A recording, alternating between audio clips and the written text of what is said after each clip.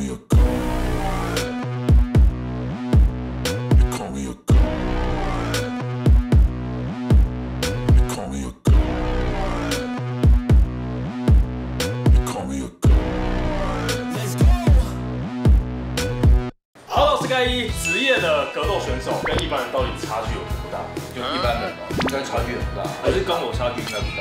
怎么说？我怎么去，我唯一输的应该是敏捷而已吧。敏捷、协调，你就是那种你知道吗？业务里面不是都有那种很大只啊？哦哦哦哦哦哦，说不定我是很厉害的。我没有，哦哦，看，哎我真的小看你。你们觉得这个职业的格斗选手，他的技术有办法弥补身材的差距到那么大吗？我觉得可以的。其实因为这种东西就是跟我们一样反复练习，是反复练习，他一定是会很强很强。那你们觉得打得赢职业的格斗选手？打得赢，我绝对不可能，我可能体重身高差不多，可能不会被 KO 啊，但打不赢。你怎么知道我？被 KO 就是直接输了，那你在干嘛问打不打？如果一定会被 KO，就不用问了啊。觉得有很高的几率会被 KO。你看我下巴，那我就这样举这样让他打，啊，那你肚子呢？那如果他就让他打啊。上去直接趴在地上，所以，哦，那波波觉得打得赢吗？我觉得打不赢，可是我觉得被 KO 几率应该也不高。你的体重身高差不多了，没有，我是指在没有差的状态下。没有高的话，我会拿枪跟他打。那如果今天是有身材差距，对方是一个女性，然后身高一百五十六公分，就比较不会被 KO 啊。那我觉得我已经虐他，对，可是人家是职业的格斗选手，那那就不一定，因为他至少敏捷度比我高。跟你体重差三十公斤有哎、那就用那种剑招啊，怎么说？妈的，就是一直往前啊！我让你敲十拳，可是我敲十拳，你可能就 out 了。其实是这样没错，对吧？我这个是一力抵十，没错，我只要只要一点就够了。吴巧珍，外号魔力小红，台湾最新成立的 MMA 国家代表队中唯一的一位女性选手，人称最强护理师，白天救人，晚上杀人。师姐好，Hello，盖伊师弟，Hello，布布，Hello，药师。知道为什么要叫师姐吗？因为巧珍她算是我在进行式武道馆里面的大师姐。哦，我曾经有跟您对练过，有一个素材还在我的 IG 里面。我记得那个时候我们在这边对做被产虐打我被惨虐啊！看一下我们师姐的身材，你觉得你有胜算吗？其实没有。啊，真的。哎师姐平常在做什么工作？其实我现在还是牙医助理，我在牙医诊所工作。白天救人，晚上练。他晚上把人家打牙打断，然后白天看就生意这么好，一条龙服务。好啊，师姐，你看我们这个汉超如何？又壮又高，对上职业的格斗选觉得我会不 KO？觉得他会被 KO 吗？我 KO 他吗？对，我觉得有机会哦。他他想了很久，你刚刚在看什么？就看他下巴够不够硬。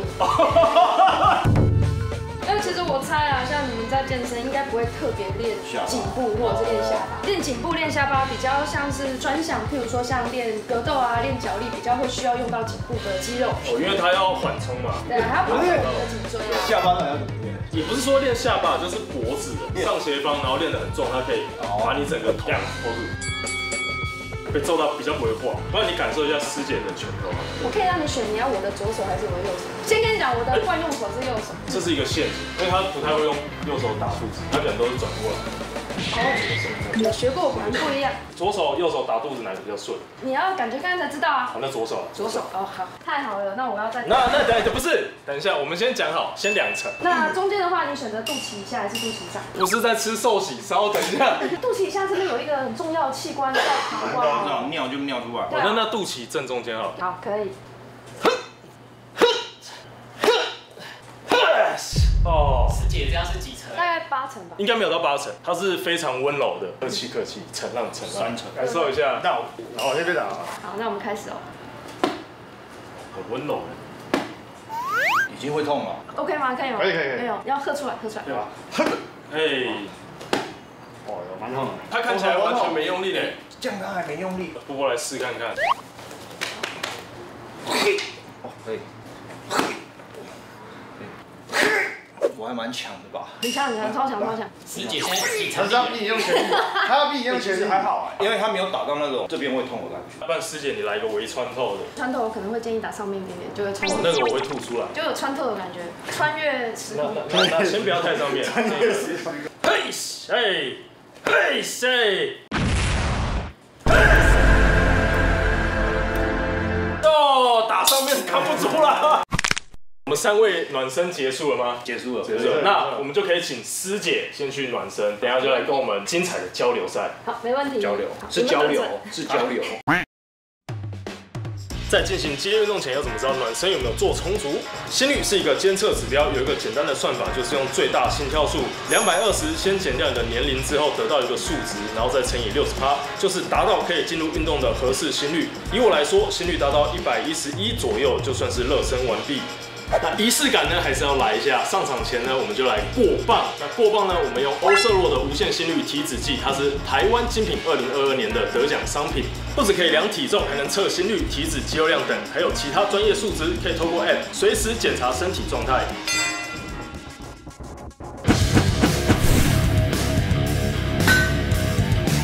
现在目前大家都热身完毕了，来跟大家介绍一下，我们今天的转播是由盖伊我跟进行室的馆长 Camber 哥一起来转播这场精彩的交流赛。你巧真应该算是刺客类型吧，因为我记得他是相当敏捷、算是比较全面型的选手，高 IQ 打法的那种类型。在战斗当中找到对手比较不擅长的项目去攻击。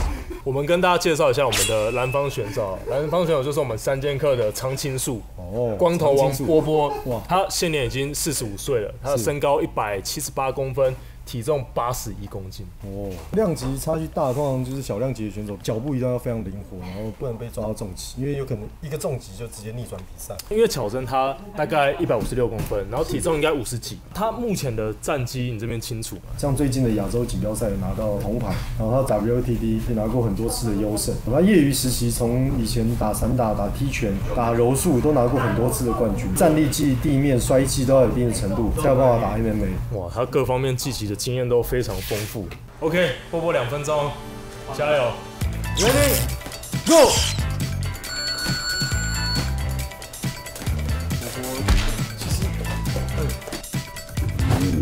哎波波有出腿，波波现在踩一个反架，反架的选手就是可以用，因为波波可能本身是一个就是没有什么太多的套路跟章法，让他可以左右切换，用自己本能来迎接这个小生的技术性的攻击。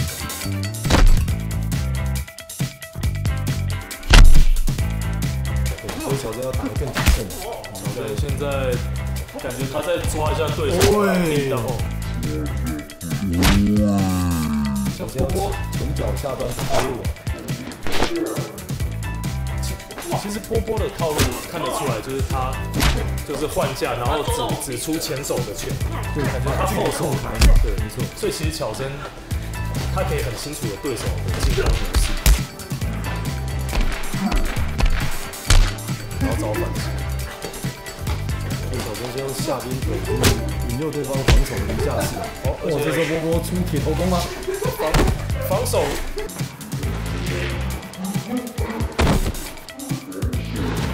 哦，巧真就是防守卡好之后，短拳塞一个，短拳塞一个。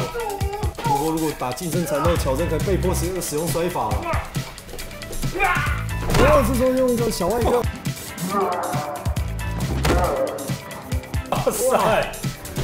带到地面上，我想体重优势就没有那么大了。因为巧真的上位。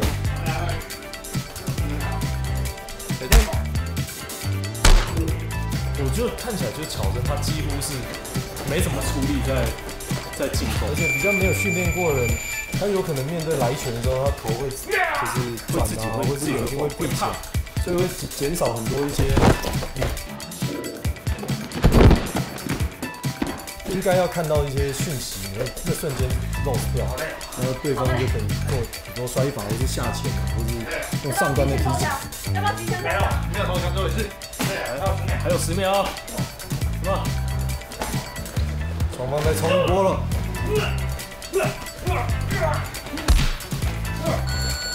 对，先到太。跟他打，压力很大。嗯，你要一直想说要怎么闪，好喘，太喘了。为什么我会这么喘？正正常啊，真的吗？真的格斗真的这个运动是我觉得最喘最喘的。我感觉我没什么在动。我觉得格斗运动有一个很机车的地方，就是你已经喘到不行，但偏偏就还有剩三十秒，你是没有办法停下来。你要挡啊，或者是要接受对方的攻击，你都还要继续对，把这时间耗。这是一个这个很痛苦的一件事。高强度有氧还有氧，你那个好久。啊，这么夸张啊？真的很淡！我看到这样，我现在好累啊。他会这么累，原因是因为第一个他一直不停的改变节奏，再来他站着又跌倒又起来，这个很耗能。对，第三个很紧张会影响你的呼吸，你呼吸就会变得急促，那你越急促，你就会觉得越累这。样太夸张了。真的很累。期待。你很棒，谢谢谢谢。波波，你打完一回合有什么心得？这超累的，真的超累。这个就像做高强度有氧一样，当你还在做的时候，喘度其实是还好，可是当一休息就超累。那你有什么建议要给药师吗？没有，就是疯狂的揍他，保护好自己。你刚刚跟乔真打完，你觉得就是这种实战的氛围，让你觉得有什么样的不一样的感觉？其实跟你想的都不一样。你你想到说你会这样子揍他，可是当你要揍他的时候，其实你已经被揍到了。就时机的掌控跟自己预期的哎不太一样。对，就是那个距离感你很难去抓到，然后还有那个进攻的那个时机。对，因为通常我们训练的时候就会用一些假动作、假晃啊，或者是距离的移动，嗯，来诱骗对方先出。有时候对方先出了，你就发现哎，他竟然挥空，那时机是最好反击的。我们现在第二个回合，你现在介绍一下选手。蓝方是我们蔡药师，蔡药师一百七十八公分，目前七十六公斤。看他的眼睛，很像看不到距离了。他等一下应该会被揍得很惨。Ready, go！哔哔哔！哦，这时候小心先抓身体。对，这个就是我讲的那个距离感。我们看不懂那个距离感。有可能会先出打身体的技术，然后再就针对头部的攻击。是常常拳击常用的技术，body head 的一个组合。脚很难绑哦，小陈这一回用比较多的腿法，上端那些踢击，啊，边腿，这也是踢拳常常使用的一个战术，上下的一个组合。他完全不不防哎、他完全是不躲的。蔡老师只有往前，没有没有往后、然后其实这时候也可以试图使用多节拍的一个连拳哦，直连续三个直拳到四个直拳，或许可以把战斗的距离给控进来。对，连续的直拳，对，很好。还在那个反击的时机哦。但是不行的时候我就很抖。他他揍你的头，你是吓到了？对，我想一下。一下登天，哦，又是一个巴蒂，你等下抓头了，哇！后手直拳，正中目标。我。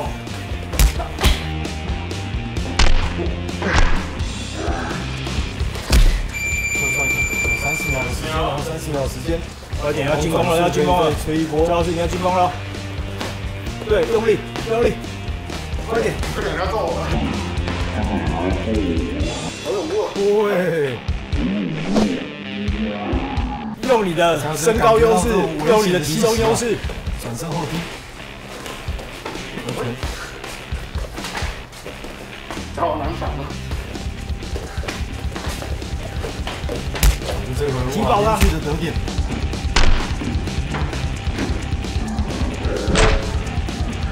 睡一级，耶！哇，这个结束了。你会不会累？你都没在动，还好，我还会吵。因为你没在动啊。连打两场的感觉是什么？很有勇气，会想要努力去把战斗完成到结束，所以我觉得很棒。药师打得很棒哎，好难打，我觉得很难防哎，有点像沙包的感觉。那等一下换盖伊了。盖伊已经练很久了，所以他应该会比我们好看很多。不知道大家有没有觉得这次的转播声音非常的稳定清楚？这是因为这次的收音设备呢，也是用台湾精品二零二三的得奖商品，加有全双工直播无线麦克风，独创多种收模式与监听功能，不论直播、录影、访问都能轻易完成，只需单机即可搞定录音大小事。摩西摩西，摩西摩西，有没有很性感？这有点太近了，连这种鬼叫声都可以收得非常的清楚。待会要进入巧珍跟这个三剑客的压轴赛啊，第三回合。那刚刚药师跟巧珍打，觉得在这种战斗过程当中，你有遇到什么样的状况？就是他没什么空档让我可以攻击，感觉他就是一脚会一直踢过来。绵延不绝。你出拳的时候又怕他揍你嘛，是，所以就是会想说，看能不能找到他踢我的时候可以去揍他，但很难。他应该是说把距离控的刚刚好，知道你体重重、力量很大，他也不想跟你做正面硬换，因为如果两个人互敲一拳，一定是他吃亏，那他变成是用腿来把距离控开。我们等一下盖伊跟这个巧珍压轴战即将要开始，盖伊现在应该已经蓄势待发，Ready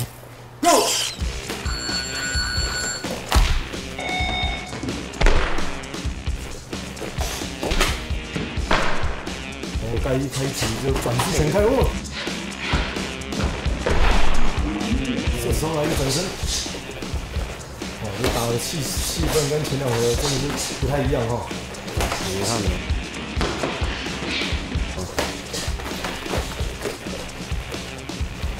这时候盖伊把距离取开了。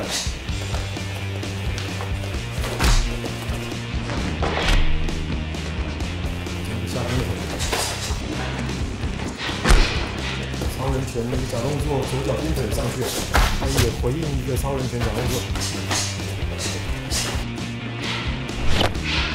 哦，转身边拳盖伊闪过，惊险的闪过了一个转身边拳的技术。我们重新调整一下战斗节奏。还是需要稍微调整一下战斗节奏。下冰粉，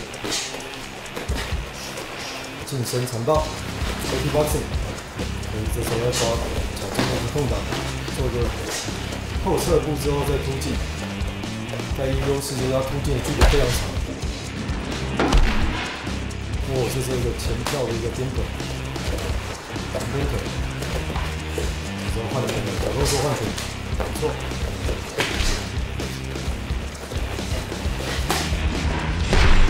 哦，抓到一个后手直拳，漂亮，是啊，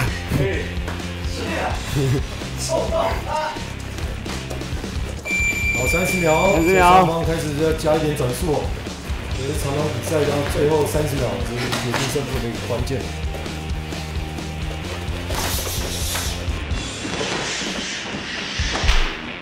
连续的一个 combo，非常精彩。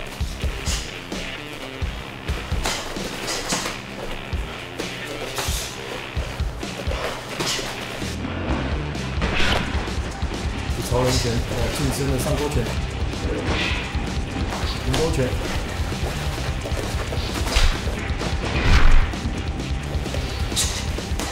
完成了摇闪，嗨，哎，哇，最后的一个双方的互换呢，非常非常激烈哦。刚刚有一下好恐怖哦，跟他们哥比那个太温柔了。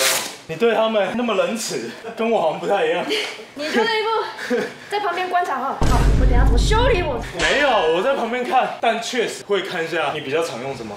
对对对对，怎么会有编程这种东西？其 实这就场上很有趣的，就是观察对手，如果在观察你，你就不能把你所有的招式都刷出去。从你一进来的时候，我们就在在战斗了。你就已经发现我坐骨神经不太好了。我已经发现我要打你这边了？